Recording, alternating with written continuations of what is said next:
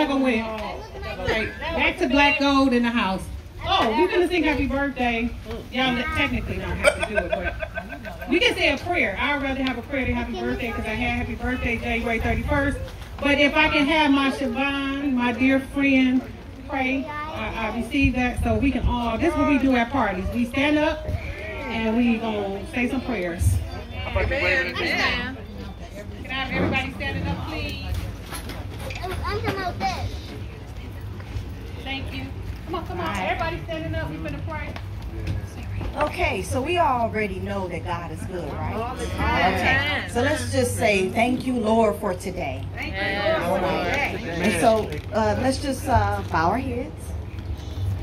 Father God, we just thank you for this day, for this is the day that you have made, and we are all rejoicing and glad in it. We thank you, Father God, that we can come together and celebrate my dear friend's 50th birthday. You're such a, a blessing to her life, Father God. We thank you for her faith that looks to you daily, Lord. Amen. We thank you, O oh Lord, that you will continue to bless Monica in a mighty special way each and every day. Bless her family, Father. We thank you, O oh Lord, that she loves you and she has lots of love around her. So we thank you in the mighty name of Jesus. We pray and give you thanks. Amen. Amen.